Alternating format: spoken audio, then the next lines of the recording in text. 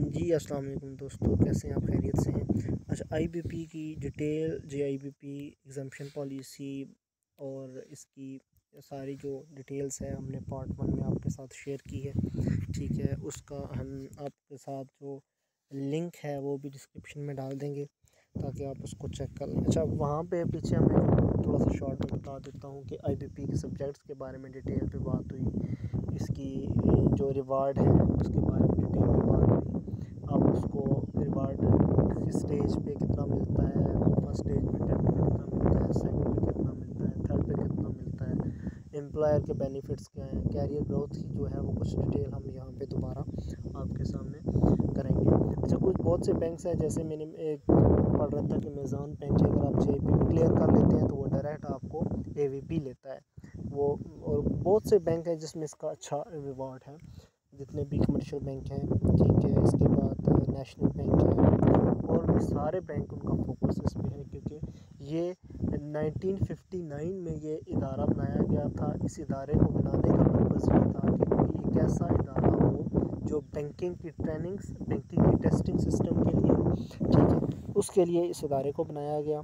अच्छा एक चीज़ है इसमें कि रजिस्ट्रेशन जो होती है आई की, जो पंद्रह हज़ार लोग करते हैं, जब हम रजिस्टर होते हैं आई के लिए, उसकी एक लिमिट पॉलिसी है। लिमिट पॉलिसी कैसे है? लिमिट पॉलिसी कैसे है कि आपने 2015 के विंटर में अगर आपने रजिस्ट्रेशन करवाई, ठीक है तो वो रजिस्ट्रेशन आपकी मज़ीद आठ साल चलेगी, ठीक है। आठ साल चलेगी।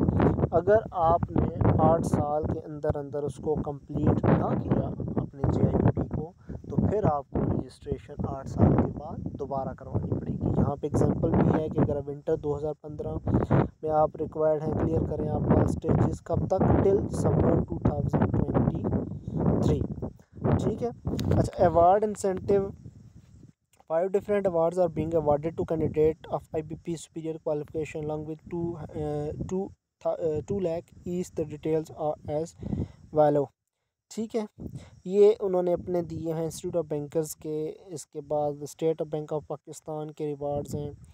अच्छा जी कासिम के अवार्ड्स हैं इम्तियाज़ आलम ठीक है, ये वो उनके अपने अवार्ड्स हैं। ये ये जो अवार्ड्स हैं, जो पहले मैंने अपनी पहली वीडियो में अवार्ड्स बताए थे आपको, पचास हज़ार, पचहत्तर हज़ार और एक लाख, वो एम्प्लॉयर के अवार्ड है। ये जो अवार्ड है, ये अवार्ड है आईबीपी का। ये अवार्ड कैसे मिलता है? ये अवार्ड उन लोगों को मिलता है जो टॉप करते हैं। जे की स्टेजेस पे जो लोग टॉप करते हैं, उनको ये रिवॉर्ड दिए अवार्ड दिए जाते हैं। अच्छा जी अवार्ड इंसेंटिव्स हो गए। अच्छा आईबीपी का मैं आपको बता चुका हूँ कि ये, इसका ये पर्पज़ है, ठीक है, इस पर्पज़ के लिए इसको बनाया गया। टेस्टिंग सिस्टम होना चाहिए प्रॉपर ट्रेनिंग सिस्टम होना चाहिए। सुपीरियर क्वालिफिकेशन की बात हो गई हमारी, जो हमारा पहला हमने किया वीडियो बनाई, उस वीडियो में सारी डिटेल हो गई। अच्छा जी, लोग क्यों करते हैं जी? I B P I S Q क्यों हैं जी? ठीक है, ट्वेल्व सब्जेक्ट्स हैं एलिजिबल एसोसिएट चार्टर्ड बैंकर आप बनेंगे। Banker with seven year of experience can also ten J I P P associate अच्छा जी क्रॉस फंक्शनल नॉलेज हो जाता है फ्लेक्सिबल सेल्फ स्टडी है अफोर्डेबल कॉस्ट इफ़ेक्टिव क्वालिफिकेशन है कैश रिवार्ड जो कि और प्रमोशंस ये आपकी बैंक में बहुत ज़्यादा मैटर करती है। ठीक है इसमें काफ़ी सारी चीज़ें जो हैं वो आपको हम इन डिटेल बताएँगे। ठीक है जी? Associate of I B P ये इसके कुछ आपके कोर्सेज़ हैं। ठीक है? इसमें एलिजिबिलिटी क्राइटेरिया है ए आई बी पी में आपने अपीयर्ड होने के लिए। दो आपके पास ऑफर्ड हैं। एक जे आई बी पी है जूनियर और एक A I B A I B P A I B P क्या है? Associate of I B P ठीक है? और जे आई बी पी क्या है जी? जे आई बी पी है जी जूनियर एसोसिएट ठीक है? सबसे पहले हम बात जे आई बी पी पे कर लेते हैं। Banker with seven years of banking experience are eligible for comprehensive six hour examination covering core subject J I P comprehensive program ये एक अलग से प्रोग्राम है। ये J I P P stage जो है, वो J I P P stage one stage two stage three ये वो नहीं है, ठीक है? ये अलग से है। इसकी क्या डिटेल्स हैं जी? इसमें which will lead toward J I P qualification and are also eligible to attend the title of associate chartered bankers from chartered banker institute UK registration fees इसकी भी उतनी है। फिफ्टीन थाउज़ेंड एग्जामेशन फ़ीस इसकी thirty thousand है।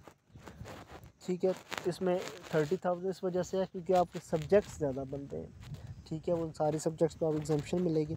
Exam फ़ी जो है exam fee है इनकी nine thousand total fee J I B P comprehensive exam की फिफ्टी फोर थाउज़ेंड है। अच्छा एग्जामेशन की बात पहले भी मैं आपको बता चुका हूँ कि आप मिनिमम टू सब्जेक्ट्स में अप टू टू सब्जेक्ट्स में आप एग्जामेशन ले सकते हैं। किस बेस पे अगर आपके पास local qualification like M B A है। आपने लोकल यूनिवर्सिटी से पढ़ा हुआ है। एम बी ए है एम कॉम है एम ए इकनॉमिक्स है। एम इकनॉमिक्स वाले भी इकनॉमिक्स के लिए एग्जामेशन ले सकते हैं। और candidates can avail up to six subjects in G I P P if they have completed similar subjects in their professional यानी कि आई सी एम ए पी है आई सी ए पी है पेफा है ए सी सी ए है, ठीक है? इन बेसिस पे। Examination are subjects to approval J I P referral material आप आई पी की वेबसाइट पे जाएँ, अब तो ई बुक्स का भी आ गया है। ई बुक्स वैसे जो हम हार्ड कॉपी लेते थे, वो फोर हंड्रेड में हमको हार्ड कॉपी आई की मिलती थी। टू या थ्री हंड्रेड का हम पे आर्डर उसका एक्स्ट्रा बना के देते थे, जो उसकी कॉस्टिंग होती थी पोस्टल एड्रेस की। वैसे आपने चार बुक्स मंगवानी है तो आप पर बुक मल्टीप्लाई फोर करते थे, ठीक है? और उस लिहाज से आई फिर आपको आगे से डिलीवर करवा देता था। आपके जो आपने एड्रेस दिया था, था एक सिंपल एप्लीकेशन लिखनी होती थी टू आई पी उसमें रिक्वेस्ट करनी होती थी कि हमने हमें ये बुक्स चाहिए। ठीक है बुक्स का नाम मेंशन करना होता था। कोड्स आप मेंशन नाम भी करें कर दें तो बहुत अच्छी बात है। नहीं करते तो इशू कोई नहीं है क्योंकि स्टेजेस का लिखा होता है तो उसके मुताबिक आई उसको फॉरवर्ड करता है। लेकिन उसका ये इशू होता था, काफ़ी लोगों को बुक्स नहीं मिलती थी बुक शॉर्टेज होती थी, बहुत ज़्यादा इश्यूज़ रहे कुछ लोगों के, कुछ पुरानी बुक्स ख़रीदते थे। आलमोस्ट सेम मटेरियल है, जो पुरानी है सपोज़ किसी ने 2017 में ली है, किसी ने उन्नीस में लिया तो आलमोस्ट सेम मटेरियल है। कुछ ये हो सकता है कि उसमें जो फैक्ट्स हैं कोई जे है, कुछ इस तरह की चीज़ें जो हैं, वो चेंज हो जाए। बाकी नॉर्मल चीज़ें उसमें बिल्कुल सेम वैसी की, वैसी ही हैं। अच्छा जे के ऊपर हमने बात कर ली है। अब A I B P A I B P सबसे पहली जो कंडीशन है वो ये होनी चाहिए कि आपका J I B P clear होना चाहिए। कोर सब्जेक्ट इसमें क्या है जी? Anti money laundering measures and business ethics है। कॉपरेट एंड बैंकिंग लॉज है। एडवांस रिस्क मैनेजमेंट है। फाइनेंशियल प्लानिंग एंड बजटिंग है।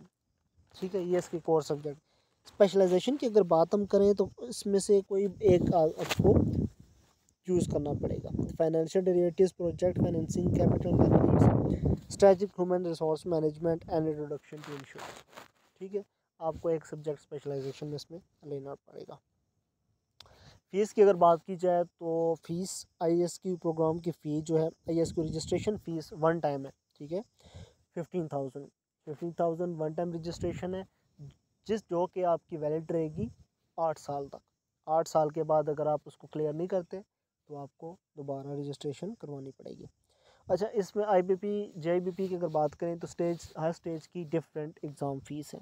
स्टेज वन की exam fees two thousand per subject है।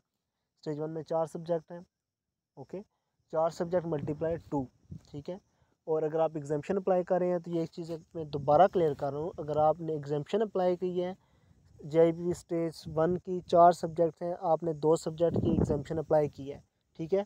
फ़ी आपको उसको करवानी पड़ेगी एग्ज़ामेशन की और दो सब्जेक्ट्स की आपको ये एग्ज़ाम फ़ीस करवानी पड़ेगी।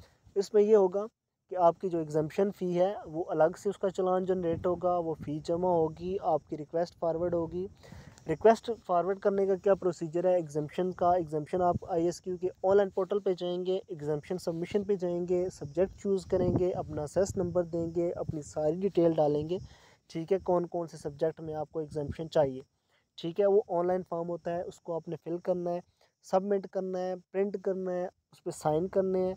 रिक्वायर्ड क्या होती है उसके साथ उसके साथ रिक्वायर्ड है आपकी आईडी कार्ड की कॉपी मोस्ट इंपॉर्टेंट थिंग जो है, जिस, आप जिस डिग्री की बेस पे एग्जामेशन अप्लाई कर रहे हैं एम ए है एम कॉम है एम बी ए है, उसकी ट्रांसक्रिप्ट डिग्री नहीं ट्रांसक्रिप्ट अटेस्ट होनी चाहिए। अटेस्ट कौन करेगा? ये भी काफ़ी लोगों ने मुझसे क्वेश्चन किए हैं, जो पहले पहले वीडियोस बनी हैं, कि जो आईबीपी की जो ट्रांसक्रिप्ट वो मांगते हैं, वो हमने टेस्ट किससे करवानी है? वो आपने किसी गजटेड ऑफिसर से टेस्ट नहीं करवानी। ये चीज़ आप लोगों ने माइंड में रखना है।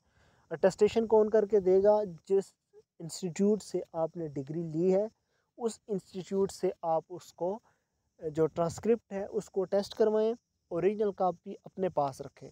ये आपने नहीं करना कि टेस्ट करवा के ओरिजिनल कापी आप लोग अपनी यूनिवर्सिटी को भेज दें। इसमें आपका नुकसान है, आपको दोबारा जब ज़रूरत पड़ेगी तो क्योंकि अटेस्टेशन जो यूनिवर्सिटी करके देती है वो फ्री ऑफ़ कॉस्ट नहीं होती है उसके चार्जेस होते हैं।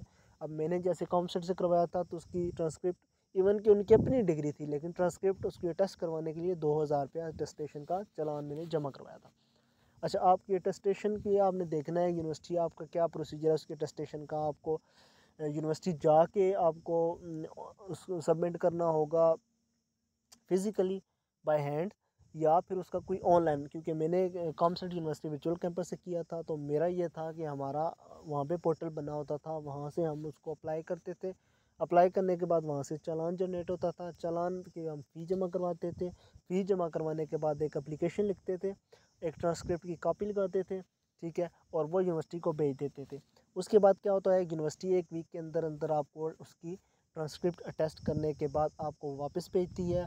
आपने उसकी कॉपी करवानी है। कॉपी करवाने के बाद उसको आपकी जो एग्जामेशन रिक्वेस्ट होगी, जो ऑनलाइन फॉर्म आपने वहाँ से प्रिंट लिया होगा, उसको देखना है। उस पर डेट, उसकी सारी चीज़ें फिल करने के बाद, साइन करने के बाद आपने उसके साथ वो आपकी जो कॉपी होगी, अटेस्ट हुई हुई ट्रांसक्रिप्ट की वो लगानी है, जो एग्जामेशन फ़ी आपने जमा करवाई है, वो लगानी है, वो आपने उसको आईबीपी के एड्रेस के ऊपर भेज देना है। अच्छा इसमें यह है कि सपोज़ किसी इशू की वजह से आप एलिजिबल नहीं थे एग्जामेशन पॉलिसी के लिए, लेकिन आपने एग्जामेशन के लिए अप्लाई किया था, उसकी फ़ी जमा करवा दी थी आपने, उसमें आईबीपी आपको ये करता है कि जो आपकी फ़ी है, वो वेस्ट नहीं होती वो आपकी फ़ी इनरोल हो जाती है। आईबीपी अगर आपने पहले इनरोलमेंट नहीं की होगी तो आईबीपी आपको मेल करेगा कि ये सब्जेक्ट जो है आपने एग्जामेशन के लिए अप्लाई किया था। एग्जामेशन आपकी इस रीज़न की वजह से अप्रूव नहीं हो सकी। आप वो मेल देखें। अगर आपको लग रहा है कि आईबीपी की कहीं पे कुछ नेग्लिजेंसी है, कोई चीज़ मिसिंग है, आप कॉन्टेस्ट कर सकते हैं। आपकी एग्जामेशन पर अप्रूव हो सकती है तो आपने ईमेल में उनके साथ अपनी कन्वर्सेशन को टॉप अप करना है। अगर आपको लगता है कि आईबीपी का डिसीज़न जो है वो हंड्रेड परसेंट एक्यूरेट है, आप एलिजिबल नहीं थे तो फिर आपको परेशान होने की ज़रूरत नहीं है। आईबीपी आपको कहेगा कि आप अपनी इनरोलमेंट करें। आप ऑनलाइन अपनी इनरोलमेंट करें। उसी फ़ी की कापी जो है वो अगर आपसे मांगते हैं तो वो आपको कहेंगे कि उसी चालान की कापी हमें भेजें। ठीक है? उस चालान की कॉपी आपने उस इनरोलमेंट फॉर्म के साथ लगा के भेज देनी है। वो एग्जामेशन जो आपकी रिजेक्ट हुई होगी, वही फ़ीस आपकी इनरोलमेंट में चली जाएगी। ठीक है। अच्छा जी, बात की थी हमने स्टेज वन की फ़ीस की, अब बात करते हैं स्टेज टू की fees twenty five thousand per subject है जी। और अगर हम बात करें स्टेज थ्री की तो थ्री थाउज़ेंड पर सब्जेक्ट है। ठीक है एग्जामेशंस एग्जामेशन की जो जे आई बी पी है, की फ़ी है, वो ट्वेंटी फाइव हंड्रेड है। ठीक है और A I B P exam fees twenty five hundred ठीक है, दोस्तों, किसी किस्म का क्वेश्चन किसी का हो आप कमेंट्स में लिखें, ठीक है? हम आपको उसका रिप्लाई करेंगे। जो चीज़ बेहतर तरीके से गाइड कर सके, वो आपको गाइड करेंगे। प्रिपरेशंस की अगर बात करें तो प्रिपरेशंस पहले तो जिनके पास हार्ड कॉपीज़ हैं, मैं तो यही सजेस्ट करूँगा कि आप थारोली बुक रीडिंग अगर आप करते हैं टिप्स बहुत से लोग मांग रहे होते हैं जी आई को क्लियर करने के टिप्स क्या हैं? सबसे पहले आप अपनी मास्टर की डिग्री को देखो, ठीक है? मैं आपको ये नहीं कहता कि आप फ़र्स्ट स्टेज में ही जाके आप एग्जामेशन ले लो। फ़र्स्ट स्टेज आपकी बहुत ईजी है अकाउंटिंग होती है बैंकिंग होती है, जो लोग बैंक के अंदर काम कर रहे हैं उनके लिए बहुत ईजी है। उनके लिए तो समझेंगे कुछ भी नहीं है ये। अच्छा इसके बाद जो सब्जेक्ट्स हैं इंफॉर्मेशन टेक्नोलॉजी है फाइनेंशियल फाइनेंशियल सर्विसेज़ जो है, वो थोड़ा सा टफ मुझे लगा है। हर बंदे की अपनी चॉइस होती है, ठीक है? आप देखें कि आपकी मास्टर डिग्री में कौन कौन सी ऐसी सब्जेक्ट्स हैं जिसमें आप एग्जामेशन ले सकते हो। अप टू टू सब्जेक्ट्स आप एग्जामेशन ले सकते हो। तो वो आप देख लें, आपने डिसाइड करना है कि आपने स्टेज वन में लेना है स्टेज टू में लेना है। अगर आप स्टेज वन में एक सब्जेक्ट एग्जामेशन लिया आपने तो आप स्टेज टू में दो, एक और सब्जेक्ट एग्जामेशन आप ले सकते हैं, ठीक है? वो आपकी लिमिट में है। इसके अलावा बहुत सारी चीज़ें, कुछ लोग ग्रुप्स में देख रहा होता हूँ। कुछ लोग कह रहे थे कम्प्रहेंसिव एग्ज़ाम्स की जो डिटेल्स हैं, वो हमें बता दें, वो कैसे होगा? जे आई बी पी की जो एग्ज़ाम है वो साल में कितनी बार होते हैं तो ये भी मैं आपको बता दूँ। चलें इसी वीडियो के अंदर हम इस बात को भी आपके साथ क्लियर कर देते हैं कि आई बी पी जो है वो साल में दो, एक विंटर और एक समर, ठीक है? दो बार एग्ज़ाम होते हैं इनके। जो आपके रजिस्ट्रेशन जब स्टार्ट होती हैं आईबीपी की, जैसे ही आपका आईबीपी का रिज़ल्ट अनाउंस होता है सपोज़ विंटर का रिज़ल्ट अनाउंस हुआ आपका मार्च में ठीक है? मार्च में रिज़ल्ट अनाउंस हुआ। ठीक एक वीक के बाद क्या होगा? अभी लास्ट ये हुआ था कि रिज़ल्ट आने से पहले ही आईबीपी ने रजिस्ट्रेशन स्टार्ट कर दी थी। ठीक है? तो ये उस भी हो सकता है कि वो पहले ही स्टार्ट कर दें। लेकिन वन मंथ होता है आपका जो रजिस्ट्रेशन का जो टन्योर होता है आईबीपी जिस दिन रजिस्ट्रेशन स्टार्ट करता है उससे नेक्स्ट आपको पूरा वन मंथ देता है ताकि आप उसकी रजिस्ट्रेशन करवा सकें फ़ीस करवा सकें, जो भी डिटेल्स फॉर्मेलिटीज़ आपने करवानी है, वो करवा सकें। फॉर्म अटेस्टेशन ऑलरेडी मैं बता चुका हूँ कि जो आईबीपी का एडमिशन फॉर्म इनरोलमेंट फॉर्म होता है, वो उसकी अटेस्टेशन ज़रूरी नहीं है कि आप गस्टेड ऑफिसर से करवाएँ, ठीक है? अगर आप किसी बैंक प्राइवेट बैंक में काम कर रहे हैं तो आप अपने ब्रांच मैनेजर से करवा सकते हैं उसको टेस्ट ठीक है?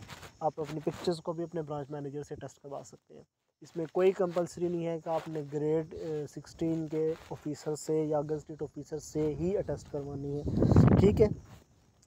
बाकी ट्रांसक्रिप्ट की जो बात है, वो आपने यूनिवर्सिटी से टेस्ट करवानी है। ज़रूरी नहीं है कि आप एच ई सी से करवाओ फॉरन ऑफ़िस से करवाओ, कहीं से भी करवाने की ज़रूरत नहीं। जस्ट आपने अपनी उसी यूनिवर्सिटी से करवानी है, जिस यूनिवर्सिटी ने आपको ये डिग्री अलाट की थी। अच्छा इसके अलावा जी और क्या चीज़ हमारे पास? कोई मज़ीद क्वेश्चन है, किसी का तो प्लीज़ आप कमेंट में लिखें। वो हम आपको उसकी डिटेल पूरी बताएँगे। बाकी और ये आईबीपी की रजिस्ट्रेशन का काफ़ी क्वेश्चन होता है लोगों का। रजिस्ट्रेशन आप सबको पता है कि अब आपको रजिस्ट्रेशन ऑनलाइन पोर्टल पे ही करनी पड़ती है। तो दोस्तों वीडियो को ज़रूर देखिएगा लाइक कीजिएगा और आगे शेयर भी कीजिएगा जिन लोगों को आईबीपी की इन्फॉर्मेशन चाहिए होती है। और हमारे चैनल को भी सब्सक्राइब करें। हमारी कोशिश यही होगी कि आईबीपी की एक एक चीज़ जो है हम इस चैनल पे डालें। काफ़ी सारी वीडियोस हमारी एडिटिंग के प्रोसीजर में पड़ी हुई हैं। वो साथ साथ अपलोड हो रही हैं। चैनल विज़िट करते रहिए, देखते रहिए। मज़ीद हमें भी बताइए क्या चीज़, किस चीज़ के बारे में आपको मज़ीद इन्फॉर्मेशन चाहिए, वो भी हम अपने एंड पे उस पर रिसर्च करके आपको इन ज़रूर देंगे। थैंक यू सो मच अल्लाह हाफ़